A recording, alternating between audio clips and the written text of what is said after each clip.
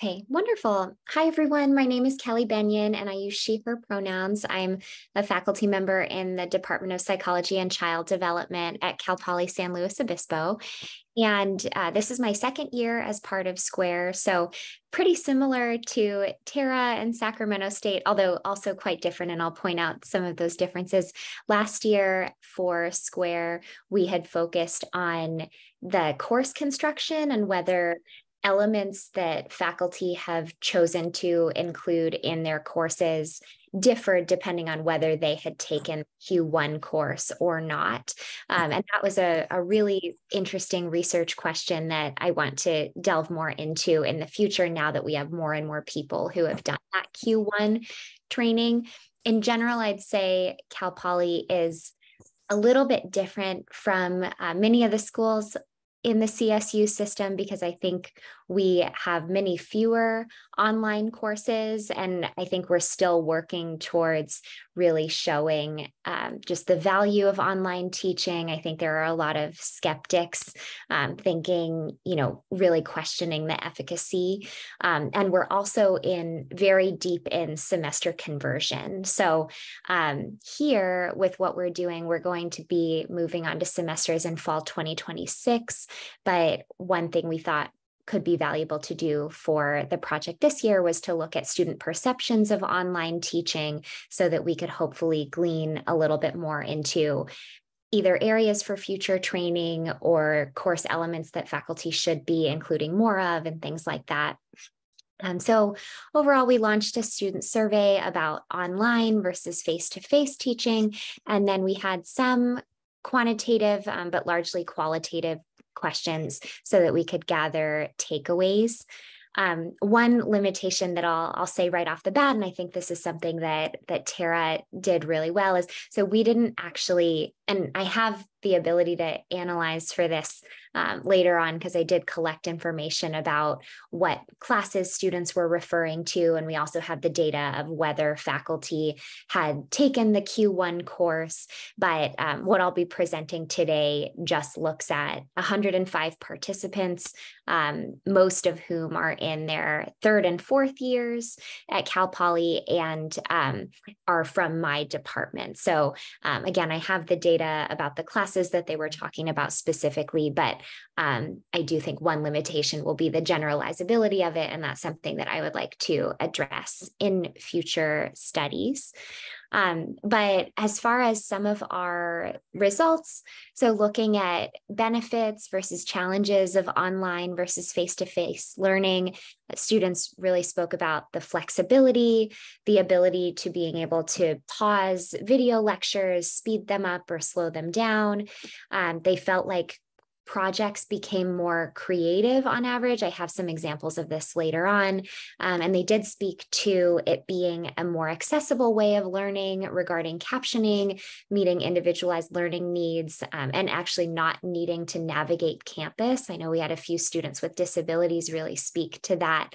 Um, just as a way of leveling the playing field and being able to participate really comfortably with challenges, we saw um, students mentioning a challenge being connecting with peers and faculty, some expectations from faculty of being connected or online all the time, motivation of um, just being able to to do the work i think particularly in the asynchronous classes.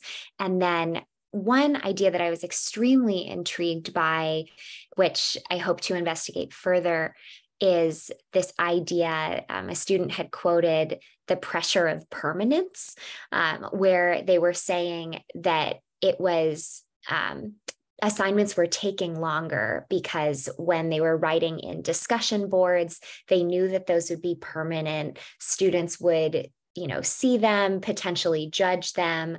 Whereas if it's a comment in class that isn't recorded or isn't written down then there was less pressure. So i think students had reported that contributing to this sense of having more work um, when perhaps you know it may not have been actually more work.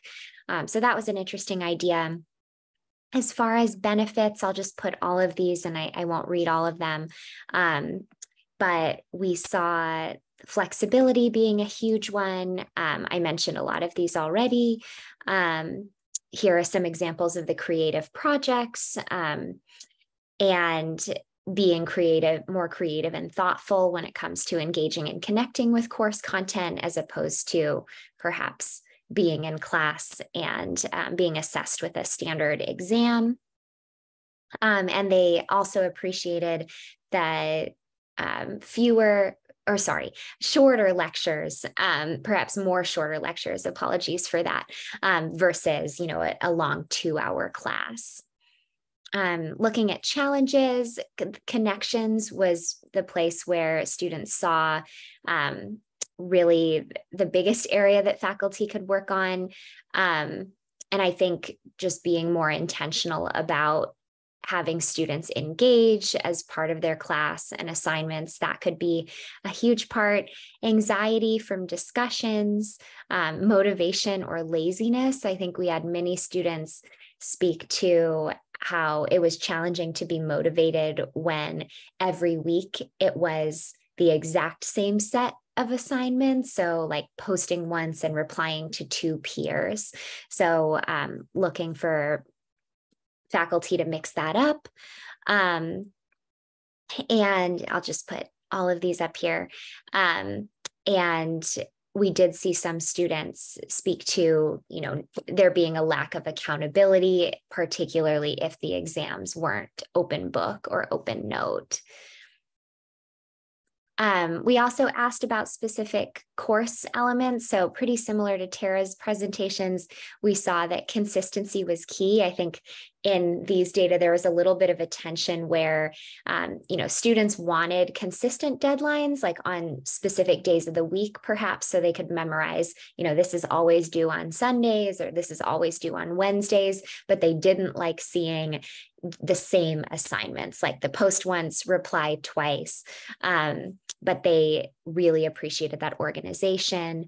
Um, we're seeing, yeah, certainly students didn't like the closed book exams. Maybe the cheating has um, a little bit to do with that, but um, here are just some of the the other elements that weren't particularly surprising. They liked the shorter recorded lectures, particularly in the asynchronous classes. Um, this looked at how beneficial interaction with other students was via different forums. So, um, surprisingly, our students, you know, they didn't love the Flipgrid videos for those who had, um, or or maybe maybe they liked them, but they didn't feel that the interaction was perhaps as like deep or meaningful. Um, group projects was listed as a big challenge, p- particularly for asynchronous courses. Um, and here, you know, we're kind of seeing mixed responses on discussion forums or or Zoom meetings. Um, there's not a whole lot of time to to talk about any of these, and I'm happy to answer questions. And then I know I'm running out of time, but um, I just have a couple of quick pros and cons for um, for different course elements. So students really wanted um, optional Zoom sessions for asynchronous classes to be able to engage with the professors in real time and preferred Zoom over the asynchronous discussion forums. Um, and I think at the same time, we saw a little bit of Zoom fatigue for the students who happened to be enrolled in a lot of synchronous Zoom classes. Um, discussions, we saw that there was a preference for being able to form community by having small groups that you work with regularly versus the whole class. And then ideally to be having meetings with them over Zoom so that you have a sense of community in the class. Um, and this idea of the pressure of permanence, you know, having it, students reporting it taking much longer to figure out what to say or apply in a discussion because the students know that it's there permanently. And they also brought that up um, in regards to Flipgrid or audio. So that's a really interesting um, question and, and something I hadn't thought about much before this. Um, group projects seem to be especially difficult in the online classes, uh, particularly with scheduling. Um, but overall, I'll just put up our main takeaways here. Um, I think overall what we're seeing is you know a lot of really practical tips for faculty. I look forward to analyzing the data based on if the students were answering the survey you know responding to a class for which a student has taken the the q1 training or if a faculty member has taken the q1 training.